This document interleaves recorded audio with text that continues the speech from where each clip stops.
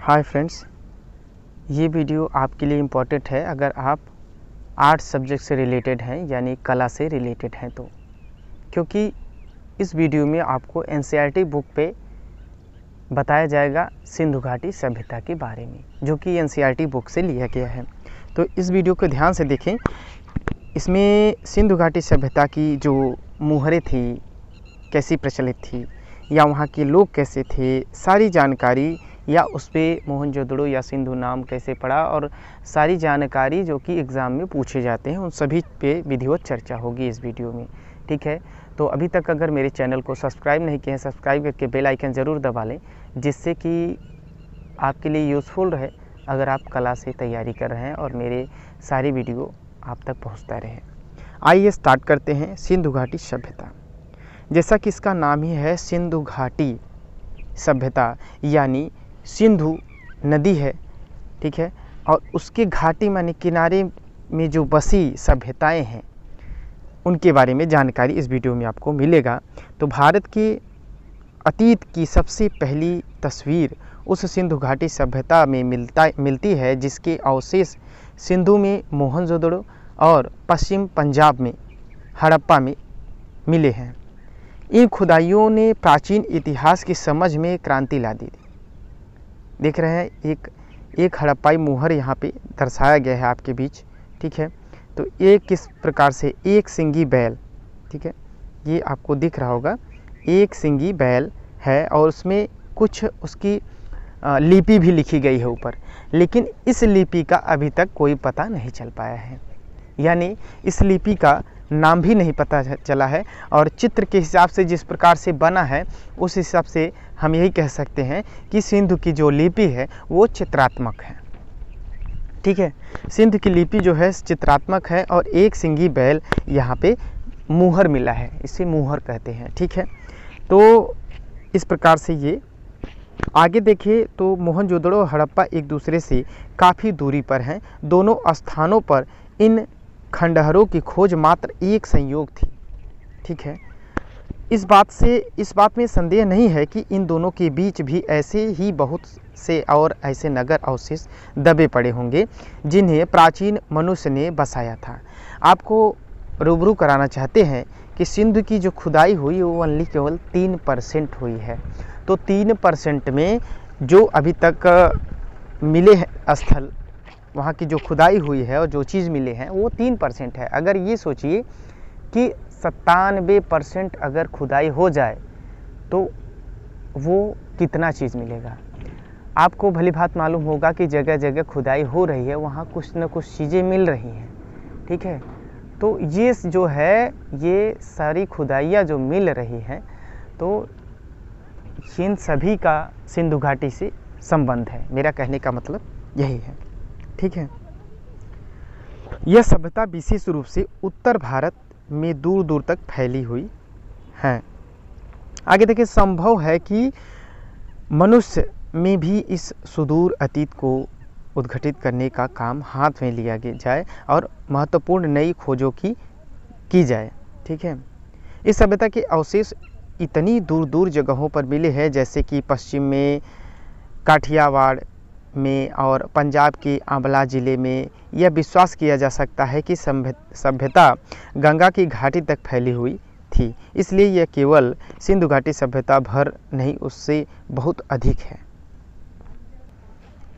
अब तक हम सिंधु के बारे में जो भी जान चुके हैं, उसका बहुत महत्व है कि सिंधु घाटी सभ्यता आज जिस रूप में मिली है, उसमें उससे अनुमान लगाया जा सकता है कि वह अत्यंत विकसित सभ्यता थी और उस स्थिति तक पहुँचने में उसे हज़ारों वर्ष लगे होंगे।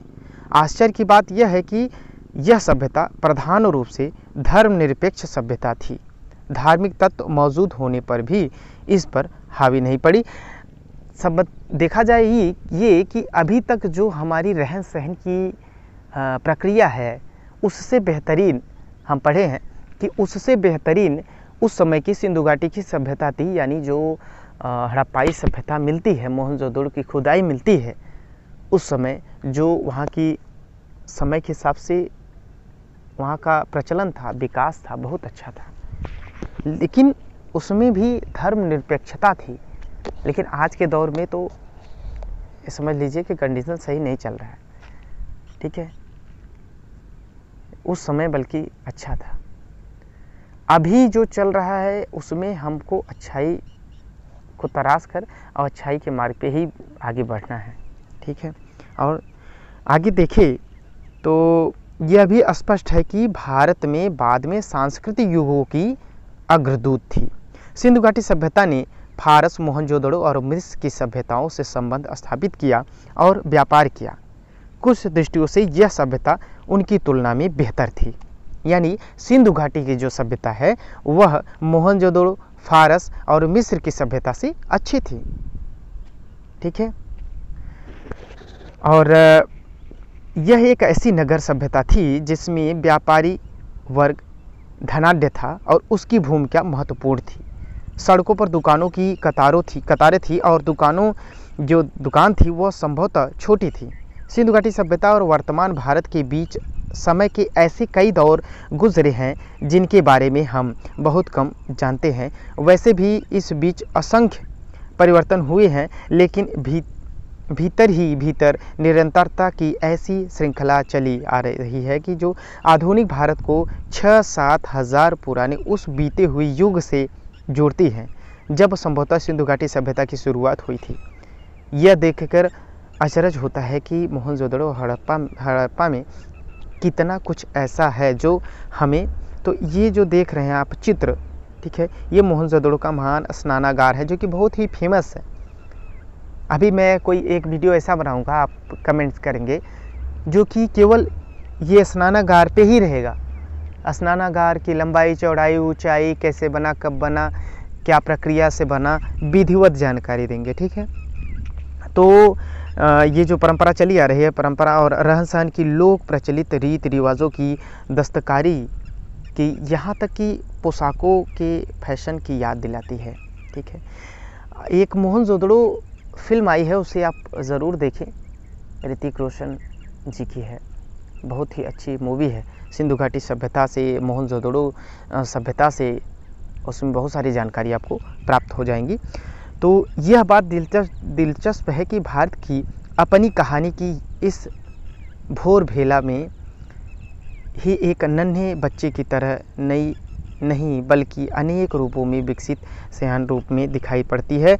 वह जीवन के तौर तरीके से अपरिचित नहीं है। उसके कलाओं और जीवन की सुख सुविधाओं में उल्लेखनीय तकनीकी प्रगति कर ली है। उसने केवल सुंदर वस्तुओं का सृजन नहीं, ही नहीं किया, बल्कि आधुनिक सभ्यता के उपयोग और ज़्यादा ढेर चिन्हों, अच्छे हमामों और नालियों के तंत्र का निर्माण भी किया।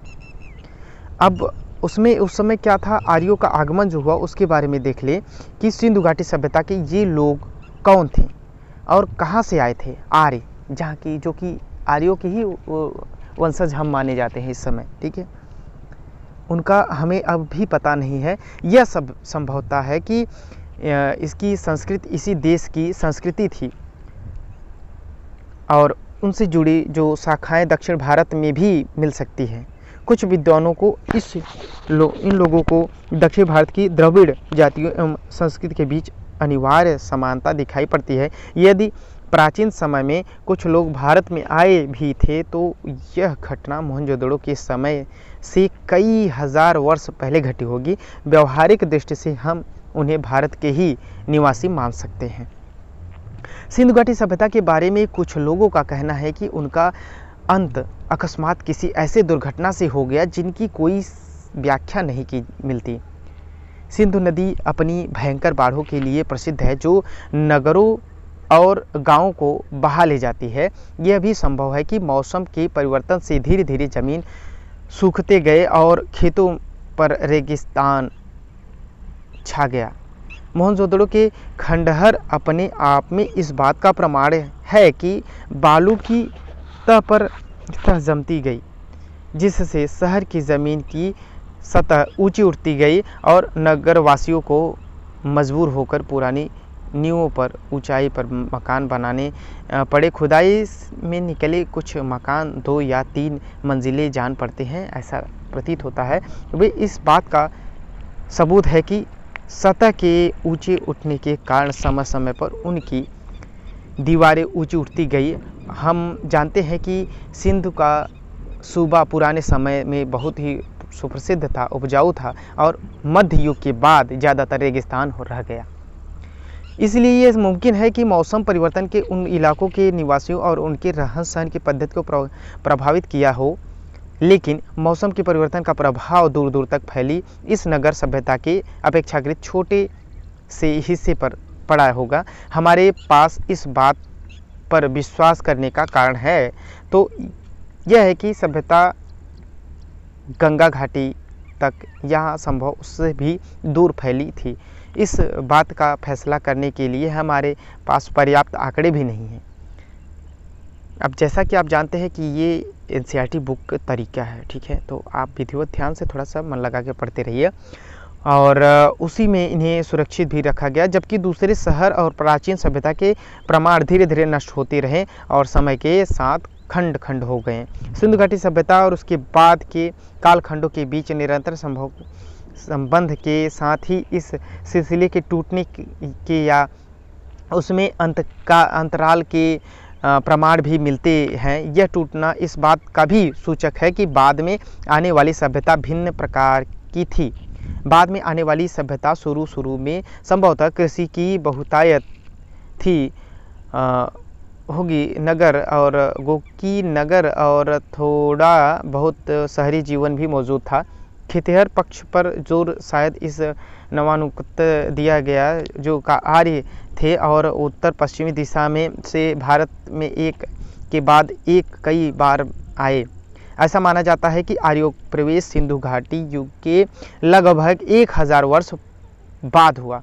यह भी संभव है कि इनमें इतना बड़ा समय का अंतर न रहा हो और पश्चिमोत्तर दिशा से भारत में ये कबीले और जातियाँ समय समय पर आती रही हों। और भारत के जज्बे होती रही हो, सबसे पहला बड़ा सांस्कृतिक समन्वय और मेल जोल बाहर से आने वाले आर्यों और उनकी द्रविड़ जाति के लोगों के बीच हुआ, जो संभवतः सिंधु घाटी सभ्यता के प्रतिनिधि थे। इस समन्वय और मेल जोल से भारतीय जातियों और बुनियादी भारतीय संस्कृति का विकास हुआ और जिनमें दोनों सभ्यताओं के तत्व साफ़ दिखाई पड़ते हैं। बाद में युगों और बहुत सी जातियाँ आई। सबने अपना प्रभाव डाला और फिर यही घुल मिल कर रहने लगे। तो प्राचीन अभिलेख और ग्रंथ और पुराण, इनके बारे में मैं नेक्स्ट वीडियो में चर्चा करूँगा, जो कि बहुत इंपॉर्टेंट है और ये जो मैं पढ़ा रहा हूँ एन बुक से हैं। इसलिए ये बहुत इंपॉर्टेंट है, क्योंकि आप उस तरीके से विधिवत ध्यान दीजिए, ध्यान से पढ़िए। मन लगा के पढ़ते रहिए कंटिन्यू पढ़ते रहिए। लॉकडाउन में मैं यही गुजारिश करूँगा आपसे कि आप पढ़ते रहिए, अपने माइंड को सेटअप बनाए रखिए पढ़ने के लिए और स्थिर रहिए। माइंड को स्थिर रखिए, बढ़िया से पढ़ते रहिए। Thank you for watching my video